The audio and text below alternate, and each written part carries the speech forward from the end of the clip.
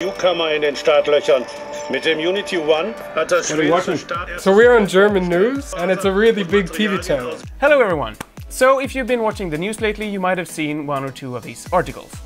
The thing is that we've just reached 500 million kroners, or around 50 million euros worth of pre-orders. And this is fantastic news, of course. We're really thankful for all the support we've got from everybody who's pre-ordered the car, and we're really excited for you all to be the first Uniti One owners.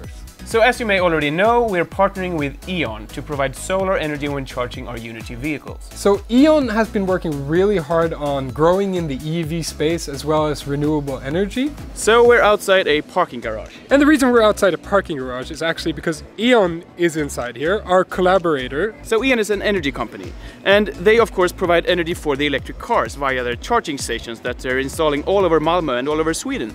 And in six months, they've installed 100 charging stations in only Malmö. So it's pretty impressive.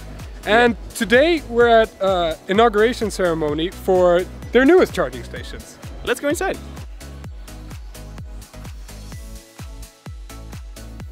I'm heading the business development in the Nordics, so I've been working with this agreement together with Uniti to make sure that we provide Uniti owners with a pure ele solar electricity when you purchase the car.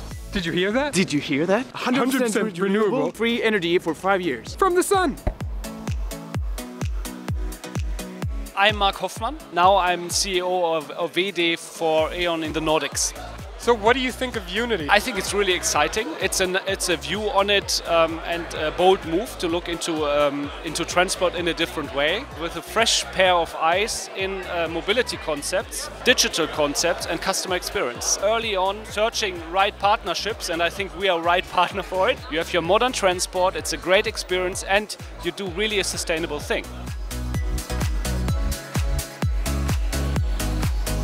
Well, my name is Ole Johansson. I'm the CEO of Power Circle. Do you drive an electric car yourself? Yeah, I do, and I've been driven on electricity for the last four years. Have you ever run out of battery? No, I haven't. Not yet. What do you think of Uniti? I think it's a super cool vehicle, and, and this kind of vehicle type, I think, is a, a necessity to, to reach our goals uh, in the transportation sector. Is it easier to get around with an EV now compared to when you bought it? Yeah, it is. There are more and more charging stations uh, along the way. Also, the range of the vehicles is increasing. How many charging stations are there in Sweden right now? Well, today in Sweden we have some 5,000 charging points spread across all Sweden. We expect doubling in like 15 months or something. So all of these new stations popping up are great, but we know that people sometimes get confused when you talk about chargers because there's many different kinds and ways to charge a car, so we thought that we will clear that up. To start with, the ones just mentioned, they're public charge stations, meaning that anyone can use them. And of course, there's private charge stations. If you live far away from a public charger, for example, you can install one at home, just like we've done outside of this building. Although this might not be necessary because there are a lot of different plugs and cables, as we're going to show you right now. So let's start with the Type 1 connector. It's commonly used in Japan and North America, and if you were to charge a Uniti car with this charger, it'll charge the car in around 3 hours. And then there is the Type 2 plug, more commonly used here in Europe. This is a bit more flexible because using the same cable you can use single-phase AC, three-phase AC or DC. Moving on, if you were to use the Type 2 charger with three-phase AC, you would need a plug on the other side looking like this. And you could then charge the Uniti car in just half an hour. And then, as I've mentioned before, you might not even need a charging station. You can actually plug this charging cable into any wall outlet. So this is actually a cable from Charge Amps, which is a Swedish company.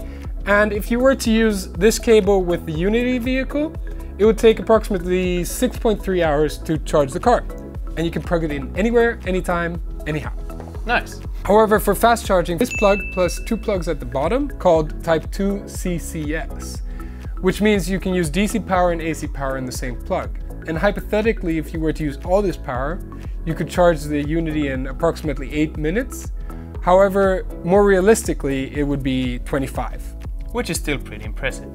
And before we end this episode, we'd like to tell you that we have a new website. And be sure to check that out as it includes lots of new interesting footage and videos and content and uh, share it with your friends and family. Första tio, svårt. Satte defensiven. Kanske inte överraskande hur eh, Super... Finally, as you may know, the World Cup is going on, so we have a little something for you to do in between the games. We've made one unique design of the Uniti 1 corresponding to each of the 32 countries currently playing in Russia. So if you visit our Facebook page right now, you'll see that the group plays on. And if you want to participate, you just vote on the most beautiful design in each group to decide which cars are going to the final rounds. Thank you for us. That was all about charging. Stay charged!